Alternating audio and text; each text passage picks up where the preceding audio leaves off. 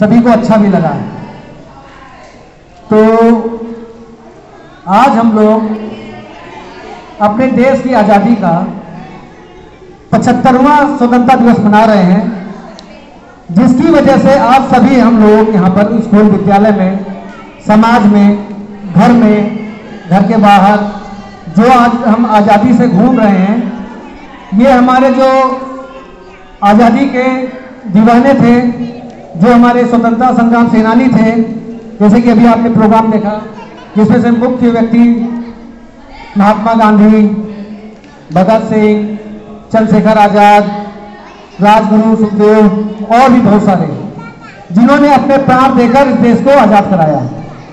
जिनके हम हमेशा अपने जीवन भर कर्जदार रहेंगे और उनका कर्ज मिटाने के लिए ही हम विद्यालय में उपस्थित हुए हैं। और मैं सभी से आशा करता हूँ जितने हमारे विद्यालय के बच्चे हैं, जितने हमारे स्टाफ हैं, और जितने हमारे सदस्य हैं जो बाहर से आए हुए हैं, उनसे भी मैं यही आशा करता हूँ कि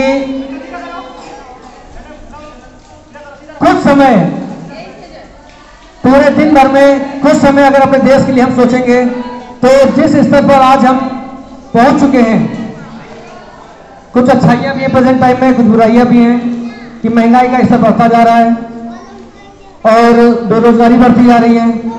इसके लिए हम अपने आप को प्रेरित करें, मेहनत करें।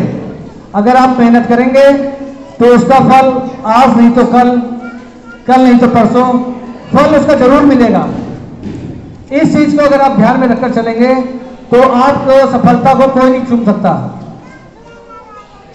यानी आप हमेशा सफल रहेंगे। अच्छे दिन, बुरे दिन सभी के साथ रहते हैं। बस उनको जिए और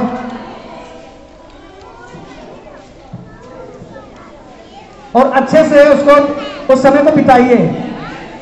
और मैं अपना यहाँ पे भाषण बंद कर रहा हूँ और उसके आगे की बात आपको अंकिता मैम आगे बताएँगी।